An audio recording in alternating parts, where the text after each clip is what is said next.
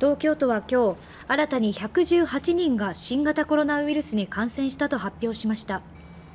このうち81人の感染経路が分かっていません。東京都によりますと118人のうち81人が感染経路が不明です。